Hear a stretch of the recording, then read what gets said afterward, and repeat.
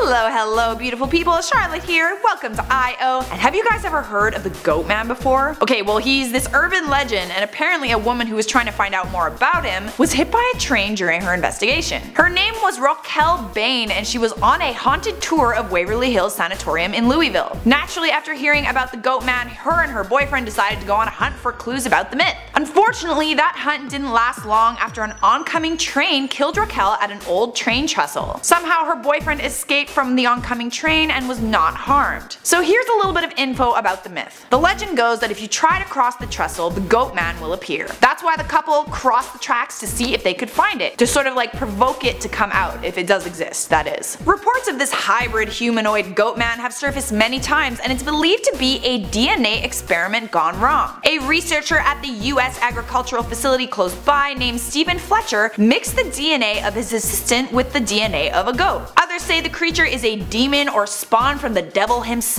The idea of a hybrid goat man has been seen in folklore many many years in the past. It even goes back to ancient Greek times with a character in Greek theater called a satyr. Interesting tidbit, the word satire comes from these Greek characters, which were usually the comic relief in Greek tragedies. The devil is also depicted as being part goat in the Bible. According to locals, the myth has taken several lives and there's even chain fences and warning signs close by. It was reportedly responsible for the death of 14 hikers in 1962. What do you guys think? Could this thing be real or not? I don't know man, I feel like it could just be some crazy person in the woods with a goat mask on. Then again, who knows really. I'm not exactly gonna go goat man hunting after hearing about this. Okay guys, that's it for me and this segment of I.O. If you enjoyed that video, hit that subscribe, like, comment, do your thing, and maybe I'll see you all next time.